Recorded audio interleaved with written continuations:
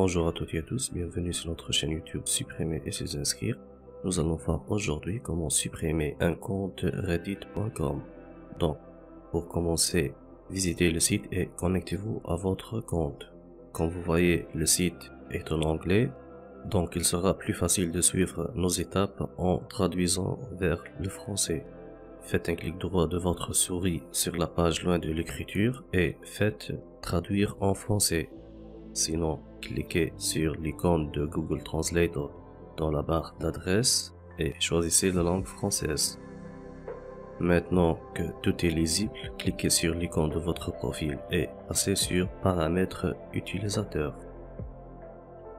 Restez sur Compte, Paramètres du compte et passez tout en bas, vous allez trouver Désactiver le compte. Cliquez dessus Ici, on voit que pour désactiver notre compte, on doit tout d'abord créer un mot de passe. Pour ceux qui n'en ont pas encore comme moi, je suis connecté avec Google, donc faites continuer. On voit que Reddit nous a envoyé un email sur notre boîte pour la création d'un mot de passe. Tapez sur d'accord. Je vais visiter maintenant ma boîte email. J'ai trouvé l'email récemment reçu de Reddit.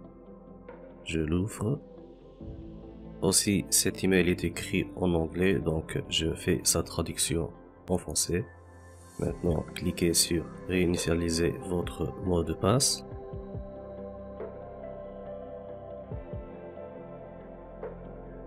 Je vais choisir le mot de passe suggéré par le compte.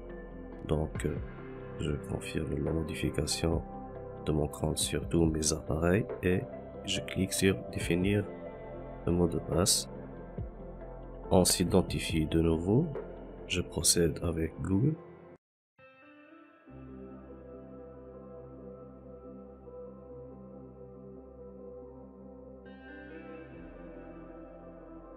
Je suis redirigé vers le site. Et voilà, je suis de nouveau sur le site avec un mot de passe je clique encore sur paramètres utilisateur. Je passe tout en bas et je sélectionne désactiver le compte. Ici, on voit très clair, la désactivation de votre compte ne supprimera pas le contenu des publications et des commentaires que vous avez fait sur Reddit.